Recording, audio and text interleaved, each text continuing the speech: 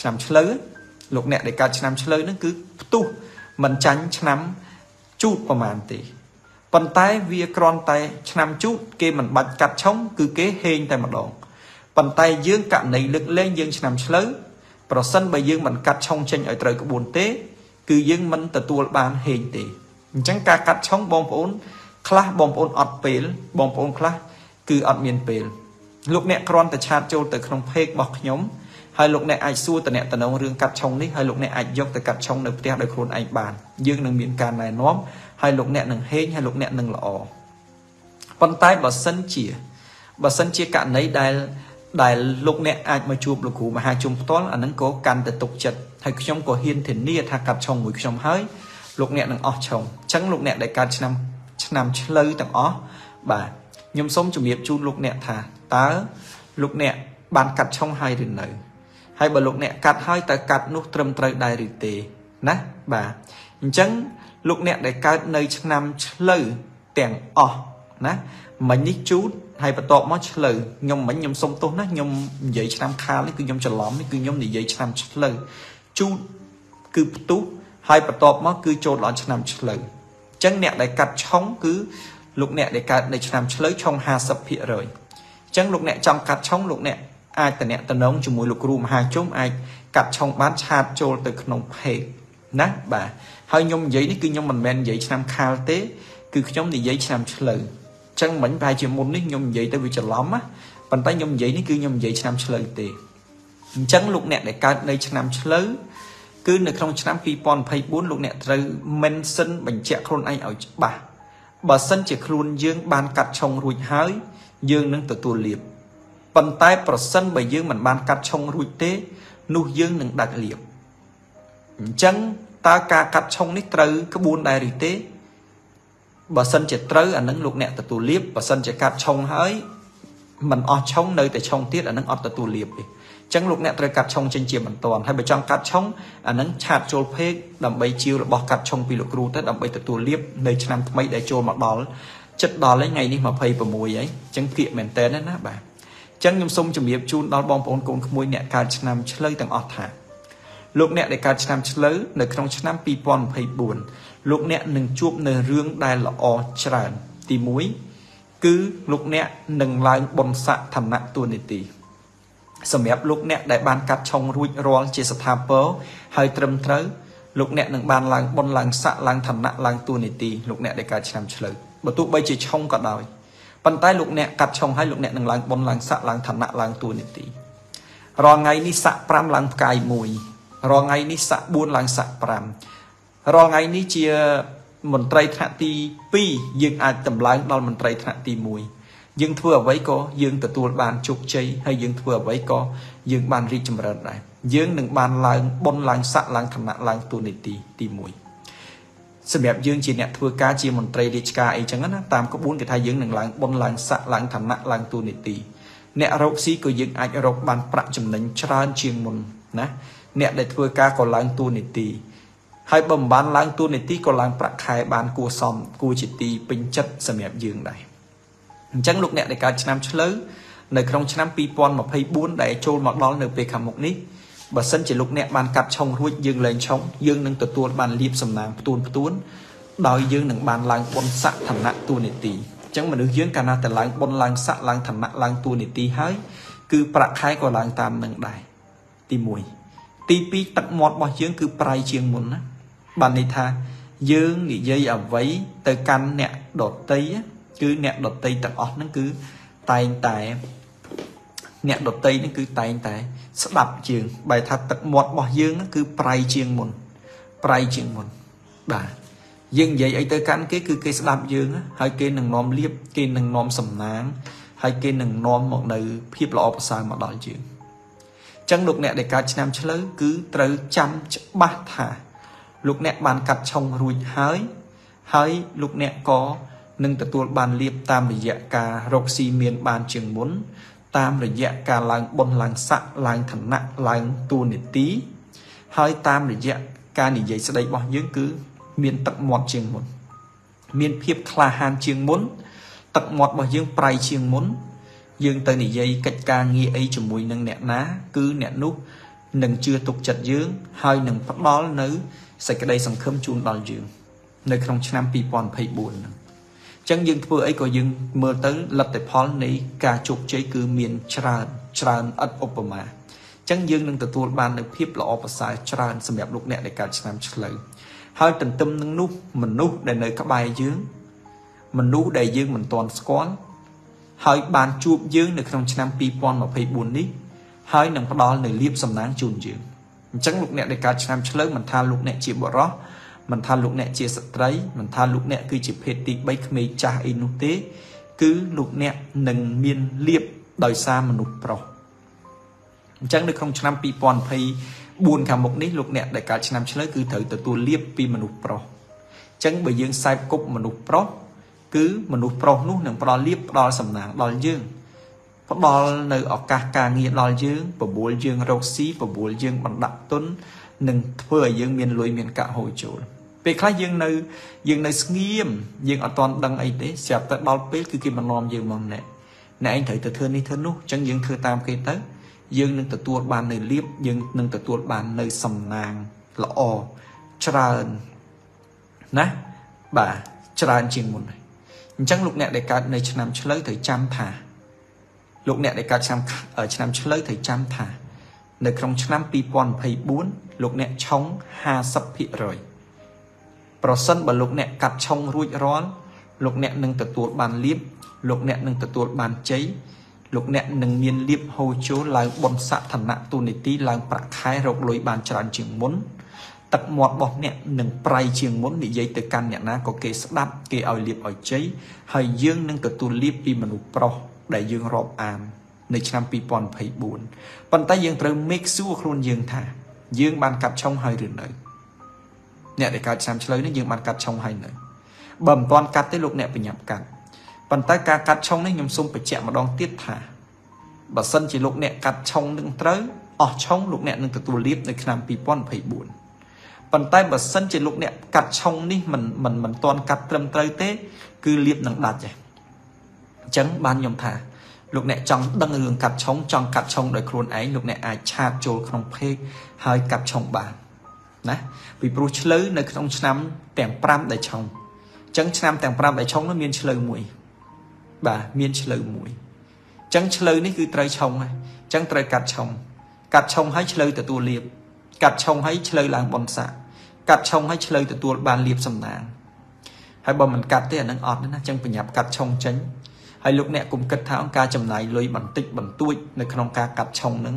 លោកអ្នកថាថ្លៃណា ប៉ុន្តែបើលោកអ្នកយកលុយបន្តិចបន្តួចនឹងមកចែកនឹង365ថ្ងៃរយៈពេល1ឆ្នាំគឺលុយមួយថ្ងៃមិនបាន100រៀលលុយខ្មែរផងមិនបាន100រៀលលុយខ្មែរទេណាអញ្ចឹងយើងគិតថាលុយបន្តិចបន្តួចនឹងយកមកដូរជាមួយនឹងសេចក្តីសុខភាពមានបានរបស់យើងមួយឆ្នាំណាបងប្អូនយកចែកមើលគឺអត់អត់ស្មើ365ថ្ងៃមួយឆ្នាំអញ្ចឹងមួយថ្ងៃបើ100លុយខ្មែរវាអស់រហូតដល់ទៅ365ម៉ឺនអញ្ចឹងគឺវាច្រើនណា ចឹងអត់ដល់ប៉ុណ្្នឹងទេណាតិចបំផុតសម្រាប់លោកអ្នកមួយថ្ងៃគិតទៅមិនបាន10រៀលលុយខ្មែរផងចឹងគួរតែចំណាយទៅចឹងត្រឡប់មកវិញលោកអ្នកដែលកើតឆ្នាំឆ្លូវត្រូវកាត់ឆុងចេញដើម្បីទទួលយកលៀបយកសំណាងហើយបើចង់ដឹងក្បួនកាត់ឆុងយ៉ាងម៉េចបងប្អូនឆាតចូលเพจណាលោកអ្នកអាចជាវឈុតកាត់ឆុងនេះយកទៅកាត់ដោយខ្លួនឯងបានសូមបញ្ចប់តែប៉ុណ្្នឹងឆ្លូវហើយចូលដល់អឺខាលចូលដល់ខាលណាបាទលោកអ្នកដែលកើតឆ្នាំខាល មុននេះខ្ញុំច្រឡំឆ្លើយនិយាយថាខាលប៉ុន្តែឥឡូវនេះខាលពិតប្រកបនេះលោកអ្នកទាំងបរិសទាំងស្ត្រីដែលកំពុងតែមើលខ្ញុំណាបាទសូមជួយ share វីដេអូនេះ3ដងសម្រាប់លោកអ្នកដែលកើតឆ្នាំឆ្លូវមុននេះបន្តិចដើម្បីអបអរសាទរខ្លួនឯងថាយើងនឹងជោគជ័យខ្លាំងនៅក្នុងឆ្នាំ2024ហើយចូលមកដល់ឆ្នាំ2024ដដែលសម្រាប់លោកអ្នកដែលកើតនៅឆ្នាំខាលសូមលោកអ្នក share វីដេអូនេះ3ដងដូចគ្នាដើម្បីអបអរសាទរខ្លួនឯងដែរ ថាយើងកើតឆ្នាំខាលយើងនឹងល្អប្រសើរបាទអញ្ចឹងនៅក្នុងឆ្នាំ2024លោកអ្នកដែលដែលកើតឆ្នាំខាលគឺលោកអ្នកនឹងមានភាពល្អប្រសើរល្អប្រសើរខ្លាំងមែនតើណាល្អប្រសើរខ្លាំងមែនតើអញ្ចឹងឆ្នាំខាលគឺសម្រាប់អ្នកណាដែលមិនទាន់ដល់គូឆ្នាំ2024ហ្នឹងលោកអ្នកដែលមិនទាន់ដល់គូគឺឆ្នាំខាលភាកច្រើនគឺដល់គូ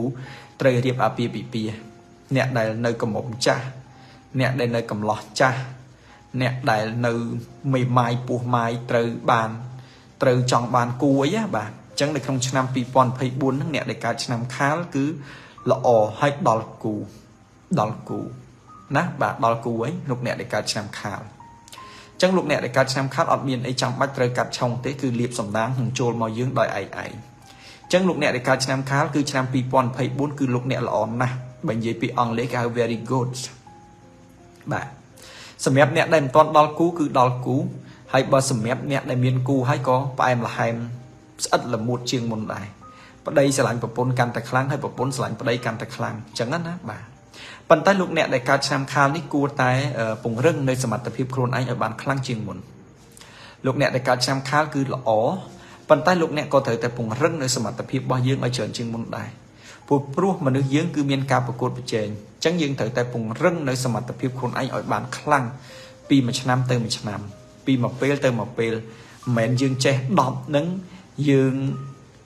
អឺនៅតែនៅតែ10នឹងទៀតទេ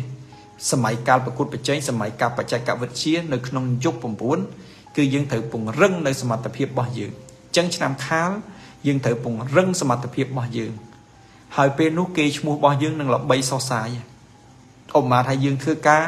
គឺគេល្បីថាយើងនឹងប្រកែថាយើងនឹងធ្វើអីយកចិត្តទុកដាក់អញ្ចឹងលុយរត់មករកយើងឯងគេឈ្មោះហើយលោកអ្នកដែលកើតឆ្នាំខាលបើសិនបើជាអ្នករកស៊ីផ្នែកគុកជេមិនថាគុកជេដីគុកជាស្អីរត់ការធ្វើអីទេ គឺភាកច្រើនលោកអ្នកនឹងបានល្អប្រសើរមកខ្លាំងអញ្ចឹងឆ្នាំខាលចំណុចល្អច្រើននៅក្នុងឆ្នាំ2024គឺលោកអ្នកដល់គូមានលៀបមានសំណាងល្អជាងមុន លោកអ្នកនឹងមានគេឈ្មោះប្របីថ្លៃថ្លា មនុស្សយើងណាបាទកាលណាដែលគេឈ្មោះល្អហើយគឺលុយនឹងហូរចូលមកឯងឯងណាគេឈ្មោះគឺក្រអូបបច្រាស់ខ្ចល់តែប្រវត្តិល្អគេឈ្មោះល្អធ្វើអីក៏បានជោគជ័យល្អដែរអញ្ចឹងលោកអ្នកដែលកើតនៅឆ្នាំខាលសូមជម្រាបជូនថាល្អ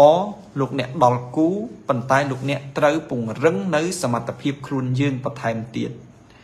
ហើយគេឈ្មោះយើងនឹងល្បីសុសសាយហើយយើងអាចរកស៊ីនៅមុខរបរគុកជេបានគុកជេអីក៏បានដែរឲ្យតែគុកជេណាបាទគឺយើងនឹងល្អគឺយើងនឹងជោគជ័យរីកចម្រើនណាអញ្ចឹងលោកអ្នកដែលកើតនៅឆ្នាំខាលទាំងអស់សូមលោកអ្នកជួយ share នៅវីដេអូនេះ3ដង ហើយជួយ comment នៅ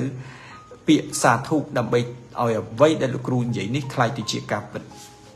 ឆ្នាំខាលបាទបន្ទាប់មកពីឆ្នាំខាលចូលមកដល់ឆ្នាំថោះណាបាទឆ្នាំថោះ ឆ្នាំថោះគឺរាសីនៅក្នុងឆ្នាំ2024វាល្អប៉ុន្តែ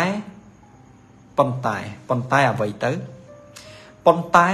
លោកអ្នកស្ដាប់ពាក្យប៉ុន្តែនឹងភ័យណាល្អប៉ុន្តែប៉ុន្តែចេះប៉ុន្តែចុះចឹងរាសីលោកអ្នកដែលកើតនៅឆ្នាំថោះនៅក្នុងឆ្នាំ2024នេះល្អប៉ុន្តែប្រសិនបើយើងមិនបានកាត់ឆុងចេញទេ គឺយើងនឹងនឹងដាច់លៀប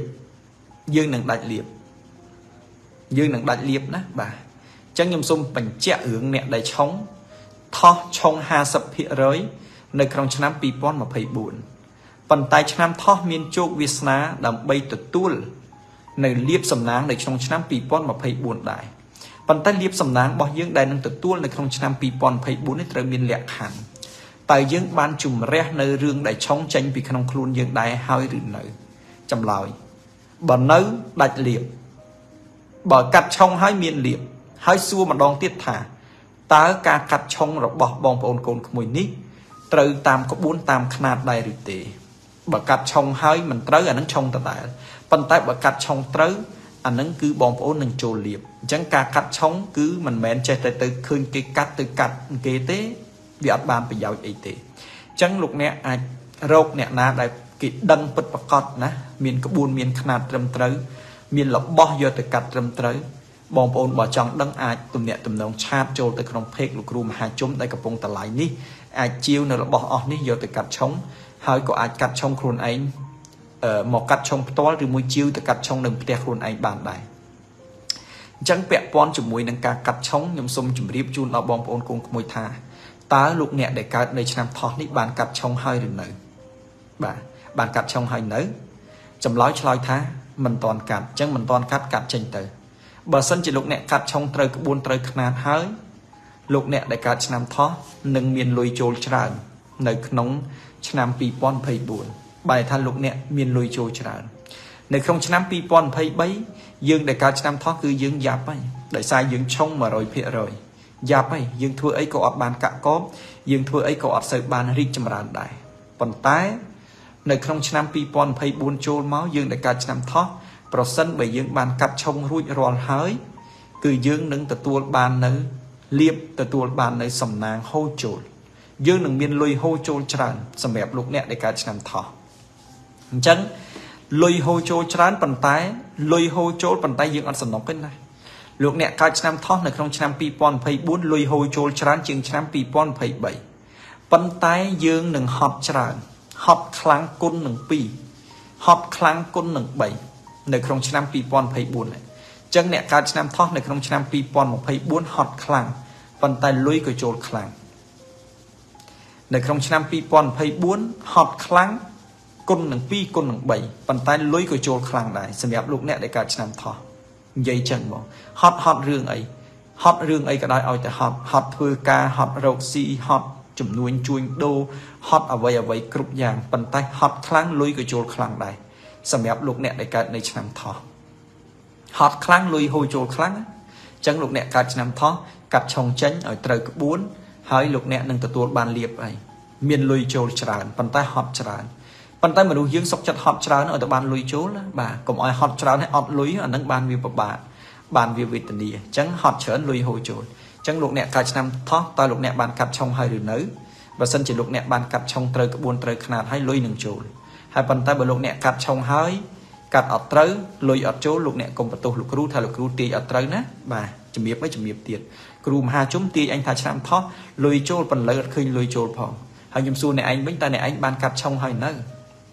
កាត់ហើយខ្ញុំទៅកាត់កន្លែងណាកន្លែងណីអញ្ចឹងកាត់អត់ចេញកាត់អត់ត្រូវនឹងអត់លុយអញ្ចឹងសូមជំរាបជូនដល់លោកអ្នកអញ្ចឹងណាបាទ ហត់ប៉ុន្តែលុយហូរចូលច្រើនណាសុវតីសុខបាទឆ្នាំថោះចាប់ផ្ដើមហត់តាំងពីថ្ងៃនេះហើយលោកឪបាទហត់ចាស់កូនឲ្យតែលុយហូរចូលអញ្ចឹងគឺលោកអ្នកនឹងមានលុយមានកាក់ហូរចូលណាប៉ុន្តែយើងកាត់ឆុងចេញណាបើចង់កាត់ឆុងយ៉ាងម៉េចឆាតចូលពេកណាលោកគ្រូមានរៀបជាឈុតសម្រាប់លោកអ្នកអាចទៅកាត់ឆុងដោយខ្លួនឯងនៅផ្ទះបានបាទអញ្ចឹងឆ្នាំថោះត្រៀមកាត់ឆុងចេញលុយហូរចូលច្រើនអរគុណហើយនឹងមានលៀបមានជ័យច្រើនប៉ុន្តែហត់ច្រើន ឆ្នាំថោះចឹងយើងតាមគិតមើលទៅឆ្នាំយើងទស្សទាយឲ្យចំនួន4ហើយមានឆ្នាំជូតឆ្នាំឆ្លូវឆ្នាំខាលឆ្នាំថោះឆ្នាំទាំង4ហ្នឹងគឺភាគច្រើនសិតតែល្អដើមឆ្នាំល្អមកជូតឆ្លូវខាលថោះ4ឆ្នាំគឺល្អប៉ុន្តែមានឆ្នាំ2ដែលល្អខ្លាំងមានឆ្នាំជូតហើយនិងឆ្នាំអឺថោះអឺឆ្នាំជូតហើយនិងឆ្នាំខាលប៉ុន្តែឆ្នាំឆ្លូវហើយនិងឆ្នាំថោះល្អដែរប៉ុន្តែទៀមទាឲ្យយើងកាត់ឆុងចេញអញ្ចឹងយើងកាត់ឆុងចេញទៅ គឺយើងនឹងល្អហើយណាបាទចឹងបន្ទាប់មកទៀតខ្ញុំសូមទស្សទាយជូនដល់លោកអ្នកដែលកើតឆ្នាំរោងឆ្នាំរោងឆ្នាំក្រោយ2024លោកអ្នកដែលកើតឆ្នាំរោងគឺឆុង100%ណាឆុង100%បាទឆុង100%ចឹងលោកអ្នកដែលកើតឆ្នាំរោងឆុង100%គឺឆ្នាំ2024សម្រាប់លោកអ្នកដែលកើតឆ្នាំរោងគឺរាសីមិនសូវជាល្អប្រមាណទេបាទមិនសូវជាល្អប្រមាណទេណាបាទប៉ុន្តែលោកអ្នកអាចកាត់ឆុងចេញ កាត់ឆុងចេញទៅ វាអាក្រក់100ក៏វាអាចធ្លាក់អស់មកល្អវិញដែរអញ្ចឹងលោកអ្នកដែលកើតឆ្នាំរោងខ្ញុំសូមជម្រាបជូនថានៅក្នុងឆ្នាំ2024លោកអ្នកហាមដាច់ខាត នៅក្នុងការបង្កើតនៅមុខរបរថ្មីនៅក្នុងឆ្នាំ2024លោកអ្នកដែលកើតនៅឆ្នាំរោងហាមបង្កើតមុខរបរថ្មី មុខរបរដែលឆ្នាំចាស់2023លោកអ្នកធ្វើអីលោកអ្នកបន្តធ្វើនៅមុខរបរនេះដដែលនៅក្នុងឆ្នាំ2024ដដែល ហាមបើកមុខរបរថ្មីនៅក្នុងឆ្នាំ2024ដោយសារ2024រោងយើងឆុងដល់ទៅ75%គឺឆុងច្រើនមែនតើអញ្ចឹងរឿងមុខរបរថ្មីហាមដាច់ខាតមិនអោយបើកទេអត់ឲ្យបើកទេណាមុខរបរចាស់បើកដដែលមុខរបរថ្មីអត់ឲ្យបើកទេបើបើកស្មើនឹងបរាជ័យស្មើនឹងអត់ល្អអញ្ចឹងលោកអ្នកដែលកើតឆ្នាំរោងគឺទី1លោកអ្នកអាចកើតជំងឺលោកអ្នកនឹងអាចឈឺណាបាទ ឈឺហ្នឹងគឺឈឺខ្លាំងមិនមែនឈឺតិចទេណាអញ្ចឹងប្រយ័ត្នប្រយែងសុខភាពបន្តិចប្រយ័ត្នប្រយែងសុខភាពបន្តិចលោកអ្នកឈឺខ្លាំងទី1មានជំងឺទី2លោកអ្នកចាញ់បោកគេចាញ់បោកគេណាបាទចាញ់បោកទាំងប្រុសចាញ់បោកទាំងស្រីចាញ់បោកទាំងការងារអីចឹងទៅអញ្ចឹងលោកអ្នកនៅក្នុងឆ្នាំ2024លោកអ្នកកើតឆ្នាំរោងជៀសវាងការធានាលុយកាក់គេប្រយ័ត្នតែគេចងការធានាគារឯងទៅធានាឲ្យគេ គឺគេអត់សងយើងអ្នកអ្នកទទួលជំនួសអញ្ចឹងប្រយ័ត្នរឿងនេះមួយប្រយ័ត្នធានាលុយកាក់គេប្រយ័ត្នសាច់មិនបានស៊ីចូលឆ្អឹងភ្ជួរកសុកសុកយកភ្ជាប់ភ្នៅមកត្បៀតធ្លាក់ចឹងលោកអ្នកដែលកើតឆ្នាំរោងនៅក្នុងឆ្នាំ2024គឺលោកអ្នកនឹងមានជំងឺចឹងថែសារសុខភាពហើយលោកអ្នកអាចចាញ់បោកគេចាញ់បោកគេដឹងស្រាប់គេបោកណាគេខ្ចីលុយអត់សងក៏គេបោក សង្សារមកស្រឡាញ់យើងវាបានខ្លួនយើងហើយវារត់ចោលយើងក៏វាបោកគេយើងធានាលុយឲ្យគេក៏បោកថាប្រយ័ត្នចាញ់បោកគេពាក្យថាចាញ់បោកគេមួយម៉ាត់ហ្នឹងគឺធំធេងទលំទលាយណាស់សម្រាប់លោកអ្នកដែលកើតឆ្នាំរោងអញ្ចឹងលោកអ្នកក៏ប្រយ័ត្នប្រយែងតិចទៅណាបាទហើយមួយទៀតលោកអ្នកដែលកើតឆ្នាំរោងដដែលគេហៅថាប្រយ័ត្នខាតបងប្រយ័ត្នខាតបងមានថារោស៊ីខាតចំនួនជួញដូរអីខាតអញ្ចឹងណាមុននឹងធ្វើត្រូវគិត ពិចារណាមុននឹងធ្វើត្រូវគិតគូឲ្យបានច្បាស់លាស់ណាបាទប្រយ័ត្នខាតបងមួយទៀតប្រយ័ត្នគេរំលោភបំពានលោកអ្នកដែលកើតឆ្នាំរោងនឹងប្រយ័ត្នគេរំលោភបំពានគេរំលោភបំពាននឹងបានន័យថាយើងអត់ធ្វើអីគេទេប៉ុន្តែគេមកចោតប្រកាន់យើង គេមកលៀបពណ៌យើង គេមករំលោភលើយើងហើយ